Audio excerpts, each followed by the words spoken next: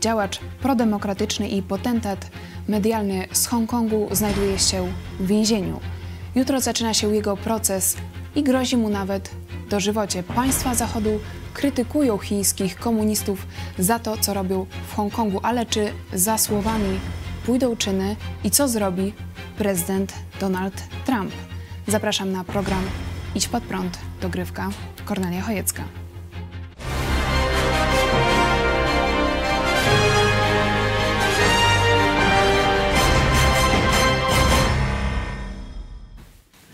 Witam Was serdecznie. Z nami jest pastor Paweł Chojecki, redaktor naczelny telewizji Idź Pod Prąd.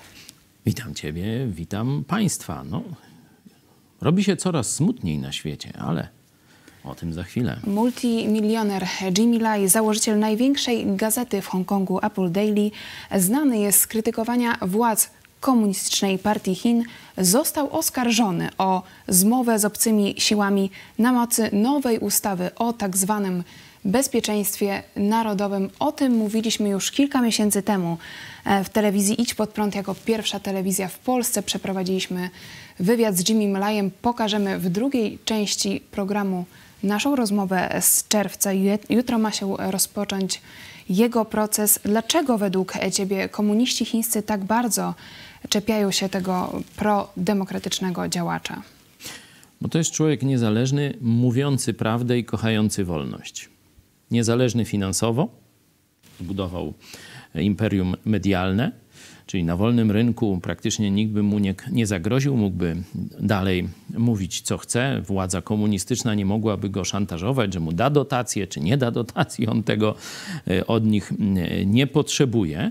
To jest człowiek, który jako młody, młody chłopak uciekł z komunistycznych Chin właśnie do Hongkongu i startując od zera zbudował e, sobie nie tylko imperium medialne, ale i wielki autorytet, bo to jest człowiek, który bardzo kocha wolność. On mówi, Pieniądze bez wolności to jest nic. Jeśli masz pieniądze, a nie masz wolności, to nie masz niczego.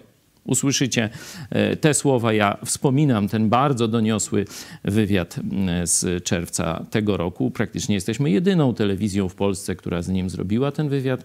I niestety media głównego nurtu zamilczały tę sprawę. Wtedy Jimmy Lai e, mówił, że Chiny raczej złagodzą e, swój przekaz i że wolny świat zjednoczy się przeciwko komunistycznym Chinom, ale to dzisiaj Jimmy Lai znajduje się w jego więzieniu. Również jego syn jest oskarżony o zmowę z obcymi siłami. Czy to oznacza, że Zachód opuścił Hongkong? Czy to oznacza klęskę wolnego świata? Tak. Odpowiadając najkrócej, tak tu, e, jak za chwilę usłyszycie w tym czerwcowym e, wywiadzie, Jimmy Lai jeszcze ma nadzieję, choć wie, że mówi tak. Ta ustawa to śmierć Hongkongu. A później na koniec jeszcze e, dodaje, jeśli Hongkong upadnie, to upadnie też Tajwan. Upadnie dominacja USA, dominacja USA w Azji. A więc nasze znaczenie dla świata zachodniego jest ogromne i tak dalej, i tak dalej. Za chwilę usłyszycie. On miał świadomość, że to jest walka na śmierć i życie i Zachód tę walkę przegrał. Kiedy spójrzcie na to zdjęcie, kiedy przez jakichś oprychów w uniformach tam policyjnych czy jakichś służb y, komunistycznych ten wielce uczciwy, kochający wolność, tak jak powiedziałem, człowiek jest prowadzony w kajdanach jak przestępca. Człowiek, który dobru poświęcił całe swoje życie. Mógł się zająć wydawaniem swoich pieniędzy, a on się zajął walką o wolność. I komunistyczne oprychy totalitarnego państwa prowadzą tego człowieka skutego w więzieniach, a w, w kajdanach, a wcześniej jego syna. Zemsta komunizmu. Zobaczcie na oczy tego człowieka. To zdjęcie bardzo dużo mówi. Ten człowiek wie, że został opuszczony, że Hongkong został zdradzony przez tak zwany wolny świat. Że wolny świat wybrał pieniądze, wybrał interesy z komunistycznymi Chinami. Teraz właśnie e, ceny za kontenery w handlu, e, w przewozie oceanicznym z Chin osiągają maksima wzrostu i, i maksyma, maksyma ceny. Czyli oznacza to, że wolny świat znowu, pomimo że Chińczycy zaatakowali go E, bronią biologiczną, chińskim koronawirusem, znowu chce chińskich towarów ma gdzieś wolność Hongkongu. Ale tu się zgadzam z Jimmy Lajem. To oznacza, że ekspansja komunistycznych Chin będzie postępować. Najpierw Tajwan, potem być może Australia. Już się toczy wojna handlowa i propagandowa przeciwko Australii ze strony komunistycznych Chin, jak opanują Azję. To ruszą dalej. To już zresztą e, szef wywiadu amerykańskiego, pan Radcliffe, powiedział. Celem komunistycznych Chin jest zrobienie ze świata komunistycznego gułagu. Świat nic nie zrobił. Nasz świat się zawali. Nasz świat za to zapłaci. Bo na Hongkongu się nie, nie skończy. Te smutne oczy Jimmy'ego Laja to jest odzwierciedlenie duszy człowieka, który wie, że komuniści triumfują, a Zachód śpi. Ale czy nie ma nadziei? Przecież wiemy, że e, Jimmy Lai wielokrotnie e, spotykał się w Waszyngtonie, na przykład z sekretarzem stanu USA Mike'em Pompeo. Czy myślisz, że administracja prezydenta Donalda Trumpa nie zareaguje, nie wesprze e, Jimmy'ego Lai'a w tej sprawie? Gdyby miała to zrobić, już by zrobiła wtedy, kiedy ta ustawa została przeprowadzona, czyli kiedy de facto komunistyczne Chiny anektowały Hongkong. Rzeczywiście zrobiono pewne kroki.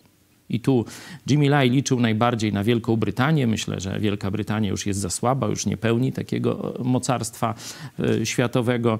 Stany Zjednoczone, pewne banki chińskie e, no, objęły sankcjami i tak dalej, i tak dalej. Komuniści są gotowi zapłacić tę cenę, bo tam inne banki komunistów chińskich przejmą ten interes, a da się zrabować pieniądze Hongkongu, bo do tej pory to był oddzielny budżet i bardzo, bardzo bogate państwo. I nie ma co liczyć na reakcję Donalda Trumpa. Myślę, że Donald Trump przespał tę, ten czas, y, można powiedzieć, takiego frontalnej wojny handlowej, ekonomicznej w sferze bankowości przede wszystkim pani Hania Shen mówiła tu wielokrotnie, że wystarczyło zablokować przepływ pieniędzy. I Chiny by od razu posłusznie wycofały się ze swoich planów. Zachód tego nie zrobił. Z jakiego powodu? Będziemy może czytali kiedyś w podręcznikach historii, ale był to przespany czas, kiedy można było, że tak powiem, dać po łapach chińskim komunistom, kiedy swoje łapska wyciągali powolny Hongkong. Te smutne oczy Jimmy'ego Laja mówią wszystko w tym temacie. To Oczywiście, no, póki żyjemy, jest nadzieja, będziemy gdzie coś jest, robić. Gdzie szukać tej nadziei? Co byś dzisiaj chciał e, przekazać szczególnie tym aktywistom e, z Hongkongu, którzy już trafiają e, do więzień w zeszłym tygodniu? Był to Joshua Wong. To już nie będzie tylko Hongkong. Przecież tu zaraz za Odrą chcą wsadzić do więzienia pastora chrześcijańskiego za właśnie wolność słowa, za głoszenie, za głoszenie prawdy biblijnej. Tu w Polsce przecież Prawo i Sprawiedliwość zrobiło nagonkę medialną. Telewizja państwowa się w to włączyła, że my jesteśmy niebezpieczną sektą i tak dalej, i tak dalej. Także to się już dzieje na całym świecie. Każdy, kto niezależnie mówi prawdę, szczególnie prawdę o wolności, czyli prawdę duchową, bo tu jest źródło wolności. Jezus Chrystus jest źródłem wolności każdy, kto to mówi, jest dzisiaj w niebezpieczeństwie. No jakie słowa zachęty? No, było lepiej, tośmy głosili, no to jak jest gorzej, to co mamy robić? Musimy dalej robić swoje, niezależnie od okoliczności. One będą teraz ciężkie. Teraz idzie czas, można powiedzieć, zimy. Czy to będzie już koniec? Czy jeszcze nastąpi jakieś przedwiośnie? Tego nie wiem, dałby Bóg. Ale my musimy trwać na swoim stanowisku. Nie było prześladowań, mieliśmy komfort. Mogliśmy rozwijać swoje media, takie jak Jimmy Lai, my telewizję Idź Pod Prąd, proszę bardzo. O komforcie, wiecie, w rządzie katokomuny, no to tak mówię troszeczkę e, z pewnym, e, z pewnym oporem, no ale powiedzmy, że, że no, nie, bezpośrednio nie atakowano nas, nie wsadzano do więzień, nie wszczynano nam procesów i tak dalej, i tak dalej. Teraz przyjdzie ten czas, on już jest. I teraz się pokaże, wielkość naszej miłości do Jezusa Chrystusa. W czasach pokoju i spokoju trudno było to pokazać, a teraz to jest czas próby. Dla mnie, dla ciebie, to jest czas próby dla wszystkich wolnych ludzi. Nie wiemy, jak z tej próby wyjdziemy. Być może nie wszyscy z nas przeżyją, Ale życie nie jest najwyższą wartością dla człowieka. Bóg jest najwyższą wartością i nasza wierność Mu. To powinno nam przyświecać. Życie doczesne nie jest końcem, nie jest wszystkim. To Jezus czeka na nas. Przeczytajcie sobie na zachętę. Drugi rozdział listu do Tymoteusza, apostoła Pawła, kiedy on swojemu najbliższemu uczniowi, którego wychował, przekazuje swoje ostatnie słowa przed śmiercią. Czwarty rozdział, drugi do Tymoteusza. Zobaczcie to sobie.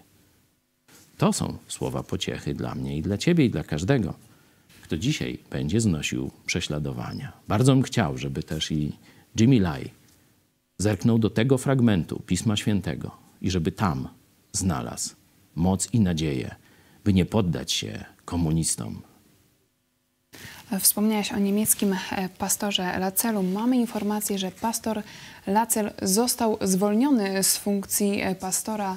Zdecydował o tym Kościół Ewangelicki e, w Bremie, czyli widać, że to zapowiadałem.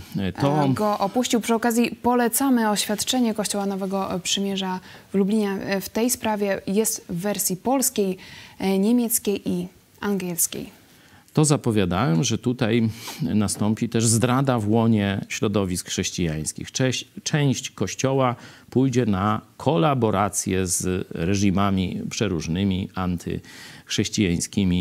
E, tu widać niestety, że Kościół, w którym dotychczas był to wyznanie, w którym dotychczas był e, pastor Lacel, przeszło na złą stronę mocy. Mam nadzieję, że się nie podda, dokładnie z, z tego samego źródła czerpiąc zachętę, że będzie dalej służył Jezusowi, że będzie dalej głosił i że będą ludzie, którzy będą chcieli nie tylko tego słuchać, ale iść w ślady, w ślady dzielnych przywódców chrześcijańskich, którzy idą w ślady Jezusa Chrystusa. Pastor Lacel już podziękował e, środowisku telewizji Idź Pod Prąd za wsparcie, podał psalm 23. Mam nadzieję, że wkrótce e, Choćbym... wystąpi w telewizji Idź Pod Prąd. To ze Starego Testamentu ta sama pociecha. Choćbym szedł ciemną doliną, zła się nie ulęknę. Dlaczego? Boś ty ze mną.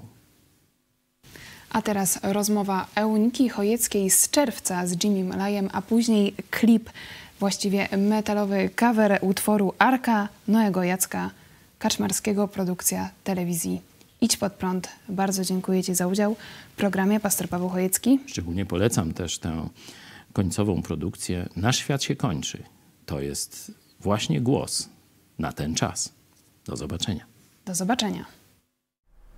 Dzień dobry, tu telewizja Idź Pod Prąd z Polski. Nazywam się Eunika Chojecka i mam dziś specjalnego gościa, pana Jimiego Lai, hongkońskiego przedsiębiorcę, założyciela Apple Daily, znanej hongkońskiej gazety i jednego z głównych uczestników ruchu prodemokratycznego w Hongkongu. Panie Lai, to zaszczyt gościć pana w naszej polskiej stacji. Dziękuję bardzo za zaproszenie. Dziękujemy za poświęcony czas. Przede wszystkim chcę powiedzieć, że modlimy się za Hongkong, aby był silny i wolny. Śledzimy to, co się dzieje w Hongkongu dzięki naszej korespondentce na Tajwanie Hannie Shen. Chciałabym zapytać o Pana własną sytuację. Był Pan aresztowany w kwietniu z powodu udziału w proteście w 2019 roku. Został Pan zwolniony za kaucją, ale jest oskarżony o bycie inicjatorem protestów w Hongkongu. Dlaczego Komunistyczna Partia Chin tak bardzo boi się Pana i Apple Daily? Cóż, wydaje mi się, że przede wszystkim dlatego, że mój głos był bardzo słyszalny. Można powiedzieć, że jestem jednym ze sprawujących kłopoty. Z tego powodu skoncentrowali się na mnie, ale także dlatego, że mamy największą gazetę, media, które także są mediami w opozycji do władzy. Zawsze wspieraliśmy ruch demokratyczny, zwłaszcza ostatnio ruch oporu wobec prawa dotyczącego ekstradycji. I teraz, gdy pojawiła się ustawa dotycząca bezpieczeństwa narodowego, mocno podnosimy głos przeciw temu prawu. Dlatego jesteśmy w centrum ataku.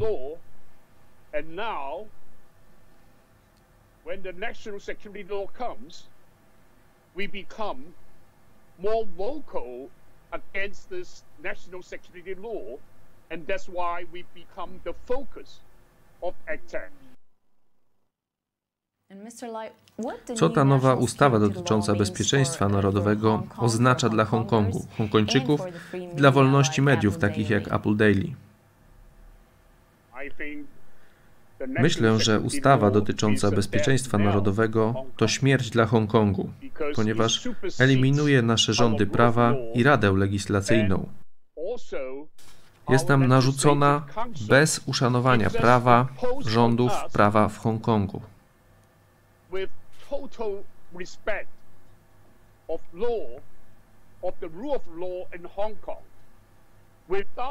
Bez rządów prawa nasz status finansowy będzie zniszczony. will be destroyed. Because Bez ochrony prawa nikt nie może prowadzić biznesu, chyba że ma ochronę urzędników, którzy mają nad nim władzę.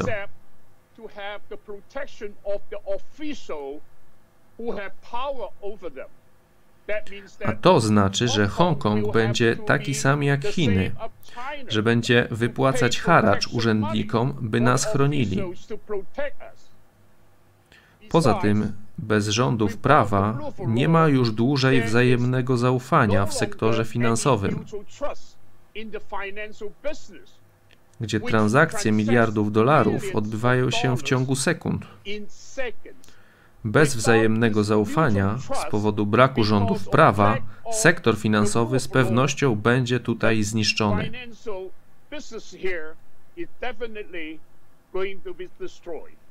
A to oznacza koniec dla Hongkongu, jaki teraz znamy.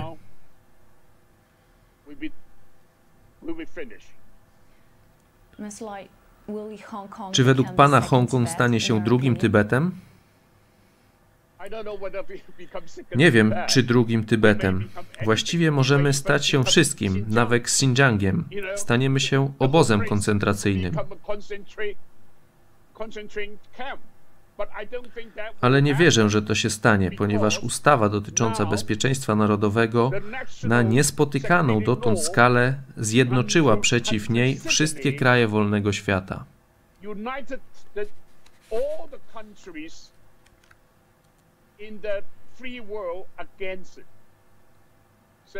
Mamy więc ciągle nadzieję, że złagodzą stanowisko. Także najmocniejsza reakcja przyszła ze strony Wielkiej Brytanii.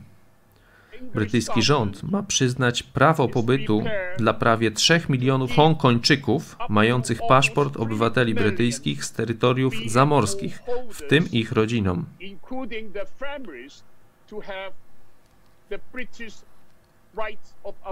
To jest dużym wsparciem dla naszych obywateli, jeśli będą oni kontynuować walkę i zorientują się, że nie ma szans na żadną wygraną, albo gdy będą całkowicie pozbawieni złudzeń co do przyszłości Hongkongu.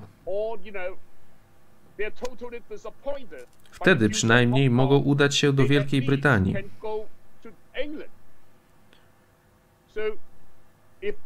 Jeśli wszyscy profesjonaliści, zwłaszcza z sektora finansowego i przedsiębiorcy, stąd opuszczą Hongkong i udadzą się do Wielkiej Brytanii, Hongkong będzie wymarłym miejscem, bo bez fachowców, przedsiębiorców Hongkong nie może być centrum finansów i handlu.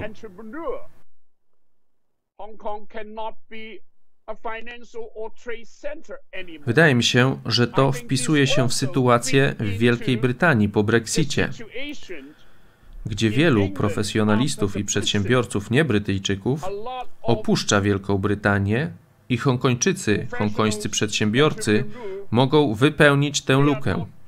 To może być dobre dla Hongkongu i dla Wielkiej Brytanii.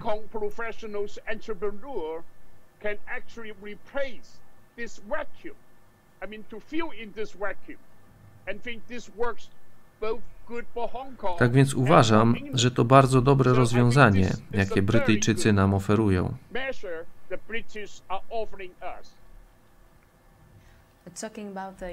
A odnośnie tej reakcji świata na tą ustawę, jak pan ocenia reakcję administracji Donalda Trumpa?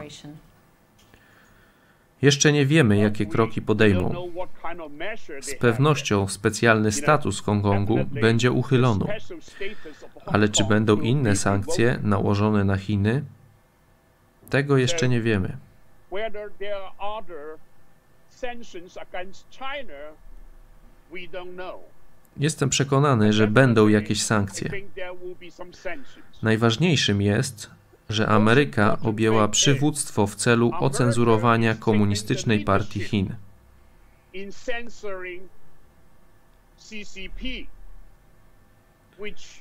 I to spotyka się ze wsparciem innych krajów wolnych na świecie, jednoczących się przeciwko Chinom, które narzucają nam tę ustawę.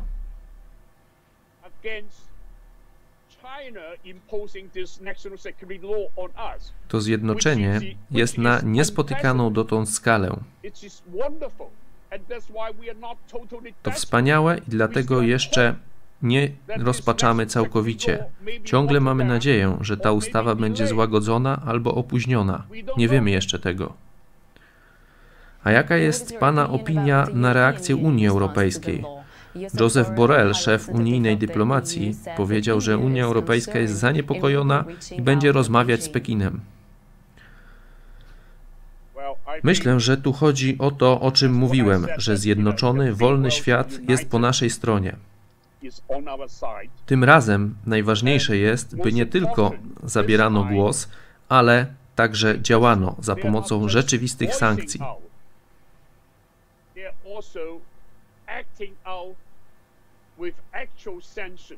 To jest ważne, bo czyny mówią głośniej niż słowa. To jest ważne.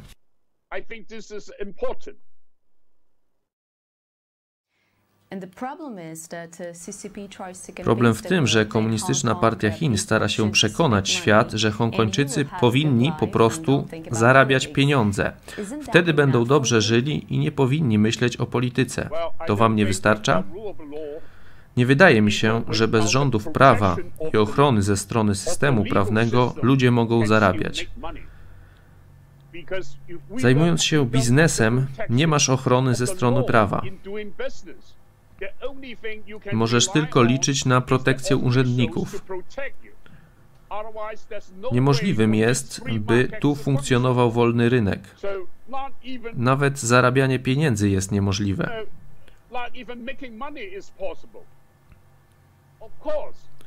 Ale nawet jeśli możemy zarabiać, to bez rządów prawa i wolności nic nie mamy.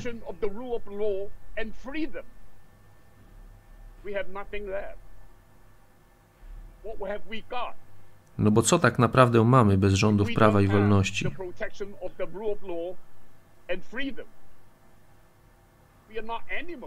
Przecież nie jesteśmy zwierzętami. Mamy wartości, mamy duszę. Potrzebujemy wolności, by żyć. Powiedział pan kiedyś, że Hongkończycy walczą o duszę. Co to znaczy?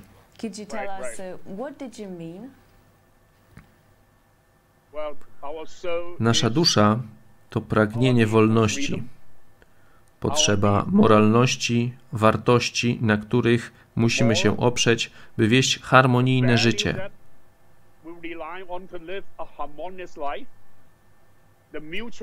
Wzajemny szacunek, jaki mamy jeden do drugiego, ponieważ łączą nas te same wartości, ta sama moralność i zrozumienie wolności chronionej przez prawo. of the freedom as protected by law.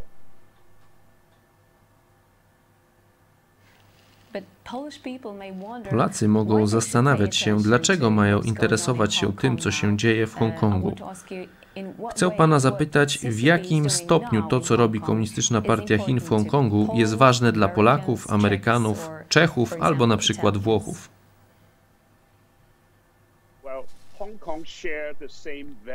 Hongkong z wolnym światem, zwłaszcza z Ameryką i Unią Europejską, łączą wartości. To jest spuścizna po naszej kolonialnej przeszłości. Tak więc w naturalny sposób stajemy się przyczółkiem dla zachodnich wartości wewnątrz Chin. Nasza pozycja jest bardzo ważna, bo możemy rozprzestrzeniać nasze wartości w Chinach. tak by zmienić ich wartości, a więc i zachowanie, a tym samym zmienić zachowanie komunistycznej partii Chin wobec świata zewnętrznego. A to znaczy, że możemy pomóc zachować pokój, bo Chiny z pewnością będą największą gospodarką w przyszłości. Jeżeli pozwolimy Chinom, by obchodziły się z nami według ich wartości, to nie będzie pokoju na świecie.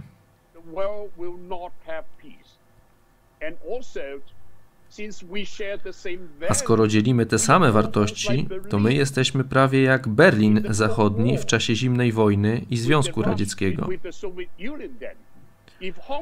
Jeśli Hongkong upadnie, to upadnie także Tajwan, upadnie dominacja USA, dominacja USA w Azji.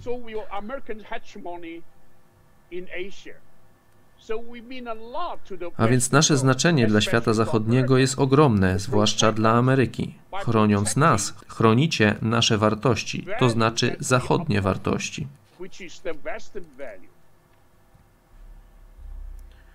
Jak pan myśli, jak rząd polski i Polacy mogą pomóc Hongkongowi?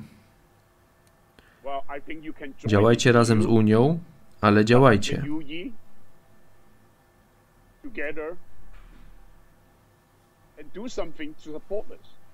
Nie wiem, co konkretnie możecie zrobić, ale potrzebujemy pomocy z każdej strony. Zrobimy to, nasza telewizja przekaże informacje od Pana naszym władzom.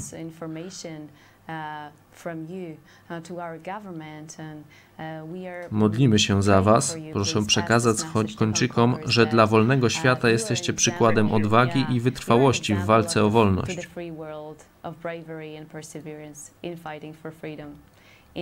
Dziękuję. Kiedy polscy chrześcijanie słyszeliśmy, jak śpiewacie Śpiewaj Aleluja Panu w czasie protestów, wiedzieliśmy, że chińscy komuniści nie odbiorą wam wolności, bo macie ją w sercach. Tak, mamy Boga w sercach. Jeśli Polacy będą nas wspierać, to i rząd nas wesprze. W demokracjach wola obywateli staje się polityką rządu i mamy nadzieję, że tak się stanie.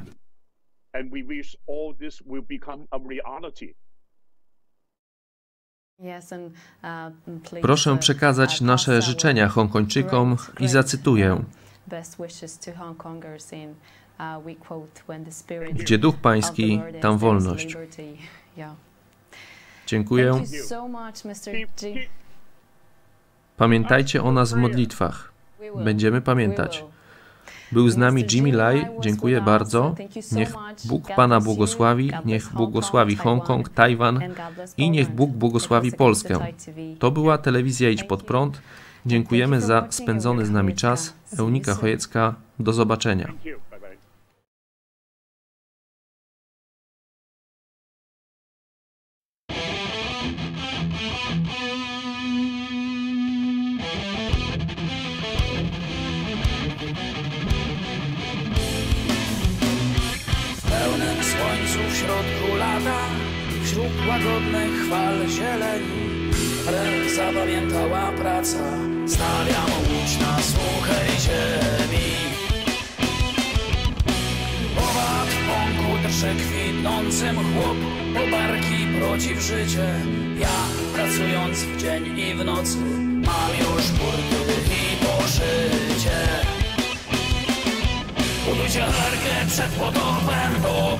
Bądźcie na to swych wszystkich sił.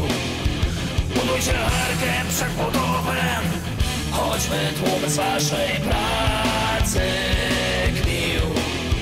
Ocalić trzeba co najdroższe, a przecież tyle już tego jest.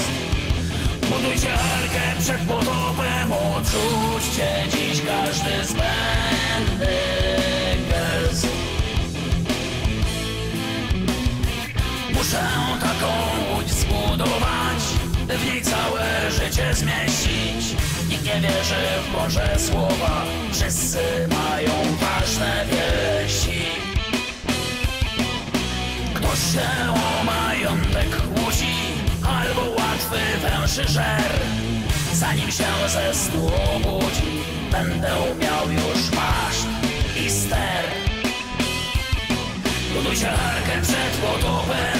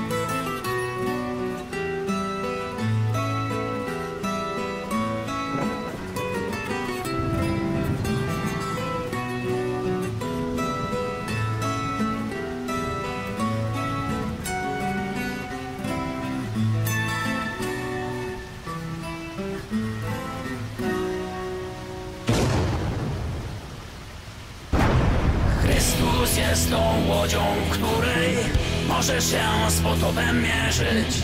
Całowej zburzowej chmury musisz tylko w to uwierzyć.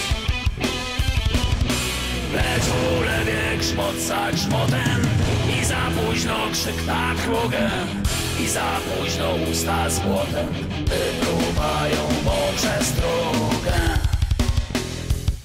Wejdźcie do arki przed podobem Słyszę sterując serce fal. Wejdźcie do arki przed podobem Krzyczy ten, co się przedtem śmiał. Wejdźcie do arki przed podobem Naszych na własne bluzem łez Wejdźcie do arki przed podobem Zanim Bóg swój wyleje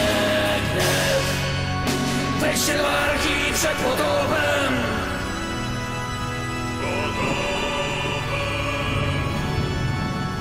Wejdźcie do arki przed podobem.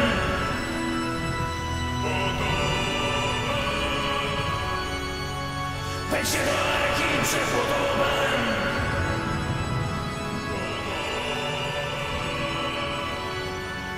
Wejdźcie do arki